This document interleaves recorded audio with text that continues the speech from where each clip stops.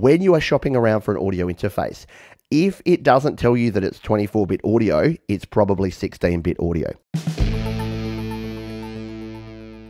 So let's jump back over to the gear guide, studiolivetoday.com slash gear.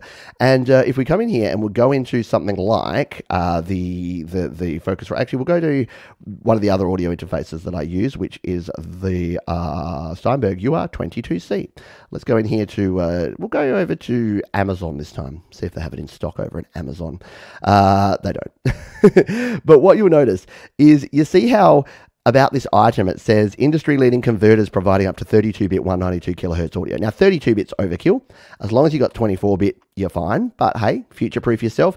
And 192 kilohertz audio. I mean, I use 44.1. I know a lot of people use 48 kilohertz or, 4, or 96 or 192.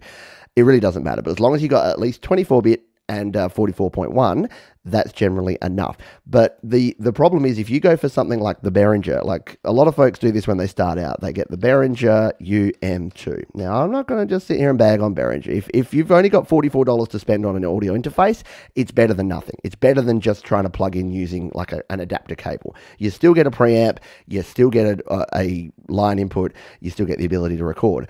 But if you come down here, you'll notice that when it doesn't tell you, see how it just says uh, audiophile, which I think is is a bit of a laugh. Audiophile 48 kilohertz resolution for uh, professional quality recording, maximum sampling rate 48.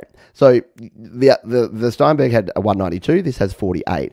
But if it doesn't mention the bit rate, it, it, it's like it's not going to mention it if it's not good. So anything that doesn't tell you that it's 24 bit or 32 bit means it's a 16 bit interface, and that just means that you're not getting as much dynamic range. You're not getting as much clarity into your recordings. You're going to get more noise, more signal to noise ratio, and you're not going to get that same same clarity you would with 24 bit audio.